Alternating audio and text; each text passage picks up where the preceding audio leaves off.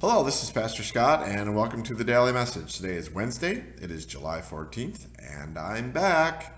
So, for some of you, that's good news. For some of you, you're like, oh, this guy again.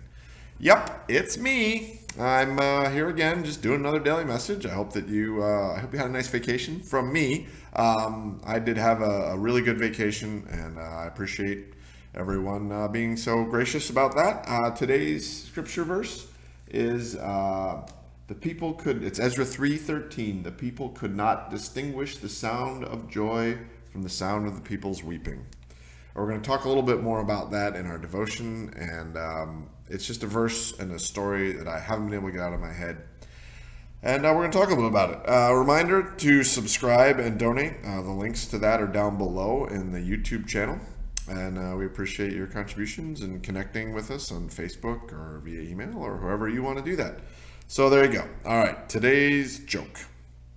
So uh, this is uh, this is a good one. Uh, it's about an Irish guy in Ireland uh, who walks into a bar in Dublin, right? And uh, he orders three pints of Guinness, okay? And sits in the back, and he drinks all three pints, each one in turn. When he finishes, he comes back to the bar and he orders three more. The bartender says, "You know, a pint goes flat."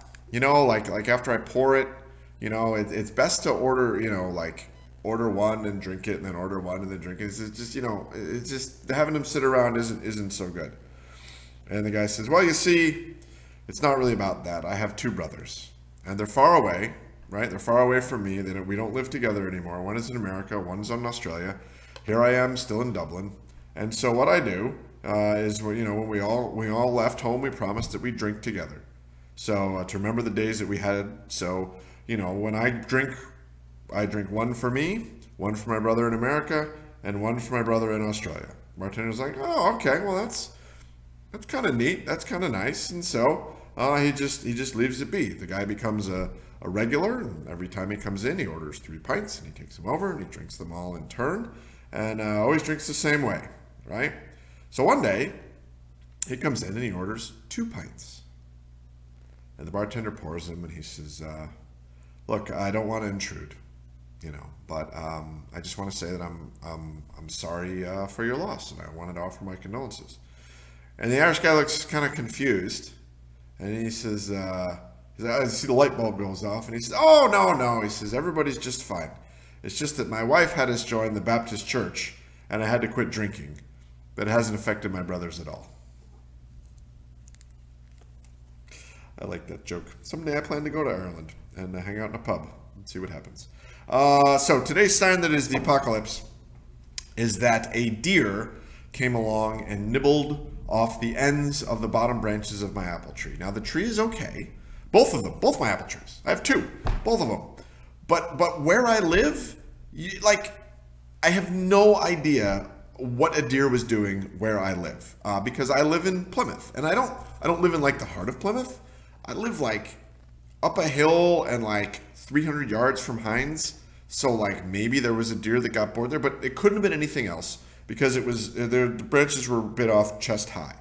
Um, but like, what is the deer doing at my house eating my like? I have just I just it's got to be the apocalypse. If where I live, deer eating apple trees, it is clearly the apocalypse. Uh, but today's sign that it is not the apocalypse is that Pastor Beth and I, on a return from our vacation, swung by Trinity Seminary, where we met and were married.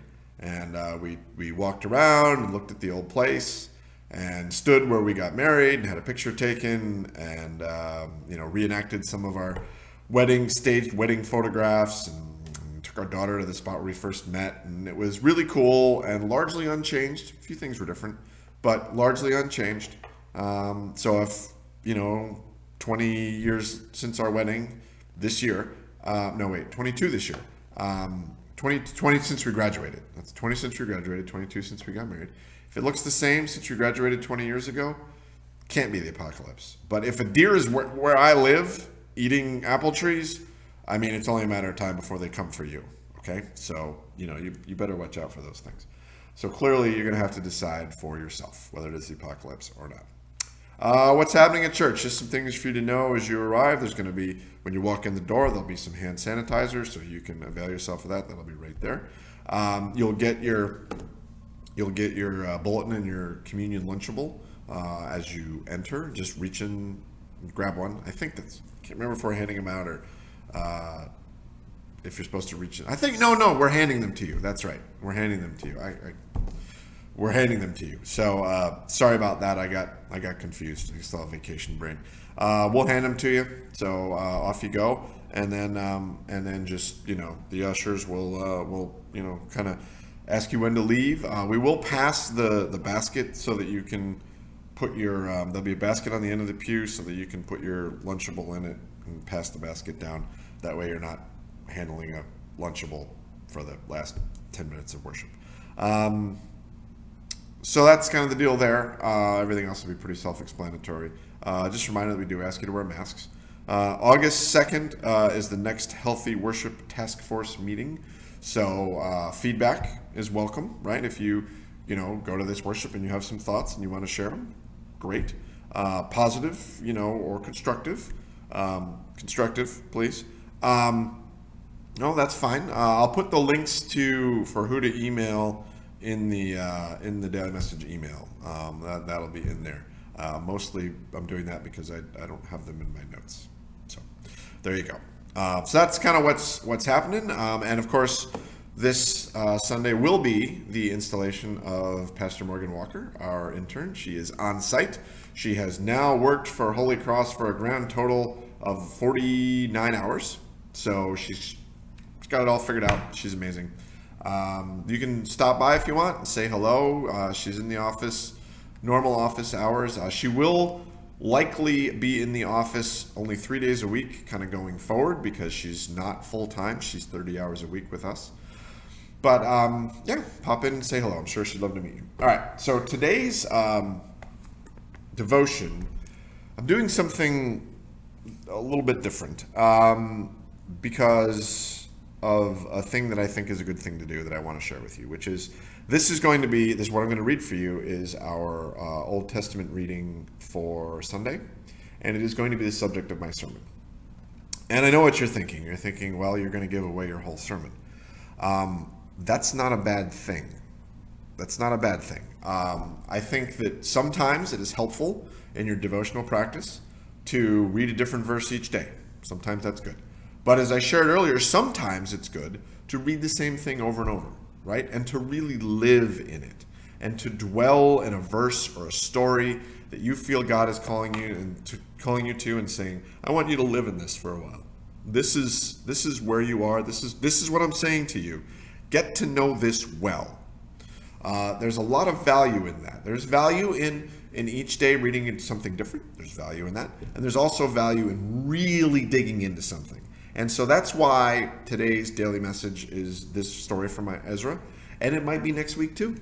We might be talking about this same story next week um, because there's just, it's a different experience of our faith to, to read the same thing over and over pull different things out of it. So you're going to hear different things from me today than you will on Sunday, but you'll also hear some of the same things because saying the same things over and over again. I mean, one of the spiritual practices that, that monks and nuns and cloister people use is they will repeat the same verse over and over and over in their prayer and their meditation and their singing.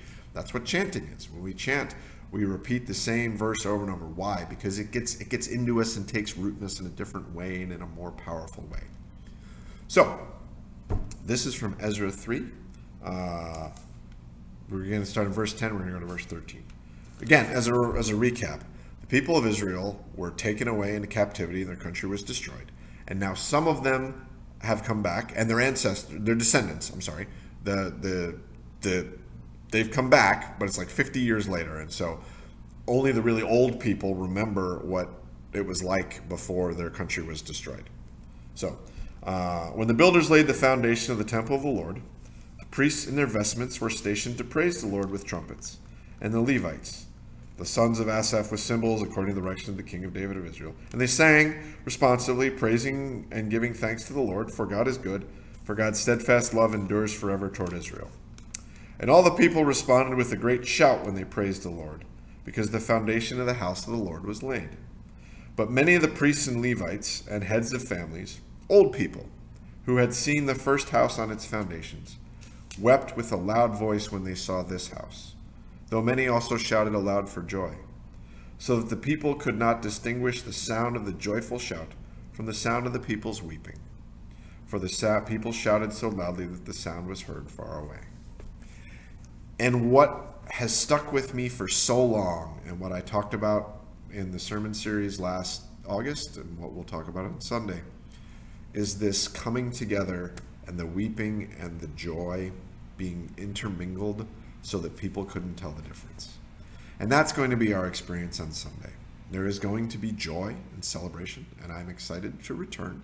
Um, I know that for some folks, it's not everything that they want it to be, um, but I'm thankful for the that we that we are coming together, and I choose to be thankful, and I choose to have a heart of gratitude rather than a heart of disappointment. Um, and you can choose that too if you wish. Uh, but the mingling together of joy and, and sorrow is, is where we will find ourselves because there are sisters and brothers who we love who will not be with us. And uh, they have died in this time and they're not there. And that is sad. And there is sadness over the times that we missed together that we can't get back. Uh, but there is joy over the coming together and the being together. And so they're going to be they're going to be mingled. And this Sunday is going to be more about the joy.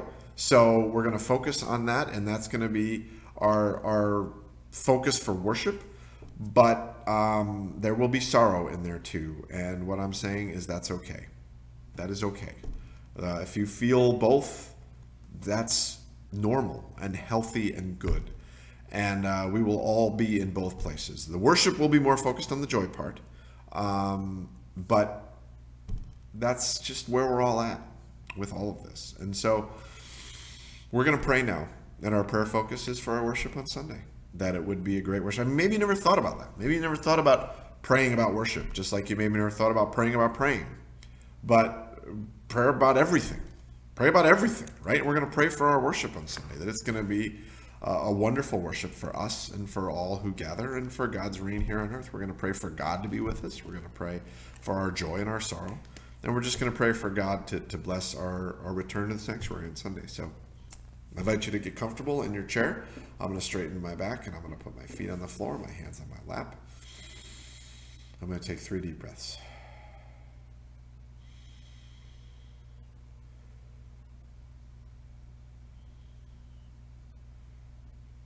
God, we pray that you would be with us on Sunday as we return to our sanctuary. Please be with our, all who gather as we as we come together in joy at the chance to return and in sorrow for the things we lost and those we lost. Be with us. Be with us and make it a powerful experience of your spirit, your love, your grace, and your ability to triumph in all circumstances. We pray, Lord, that you would be with us on Sunday morning that it would be a great day for us and a day where we can be feeling the things we need to feel in your presence together. Um, bless us as we gather on Sunday in the sanctuary and make it a great day for us, for you, and for your reign here on earth. And we pray this in Jesus' name. Amen. Remember, Jesus is risen, right? Jesus is still risen. That has not changed. The tomb is still empty. That has not changed. No matter what you're going through, that has not changed. Be smart, stay safe, love everybody, and I'll see you soon.